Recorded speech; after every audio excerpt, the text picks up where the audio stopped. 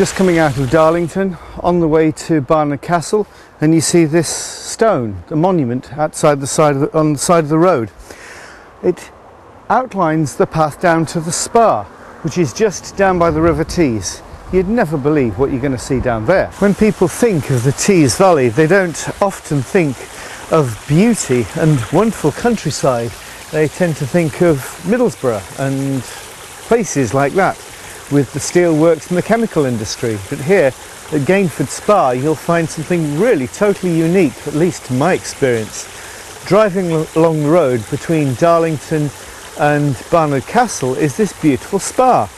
It's a replica of something that was erected in the 19th century for healing. People used to stay in the, lo- in the local village of Gainford and they used to come out to this spa, a natural spa rising out of the rock, and they used to drink the waters. Very tasty.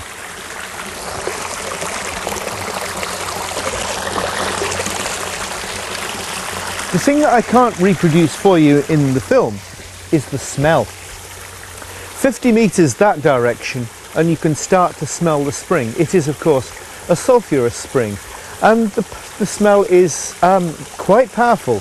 Uh, actually it pongs. It's hydrogen sulfide. The water is actually bubbling up out of the ground from not much further than say five metres away from the River Tees itself. And people used to come here for healing. Very interesting that people are seeking healing in so many different ways. Even in the 19th century, we're drinking the medicinal waters.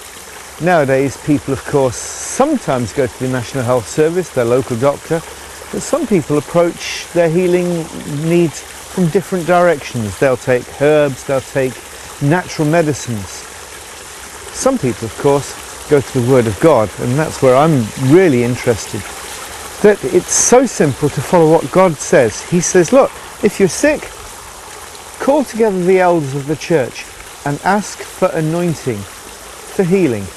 I find that such a wonderful approach, so natural.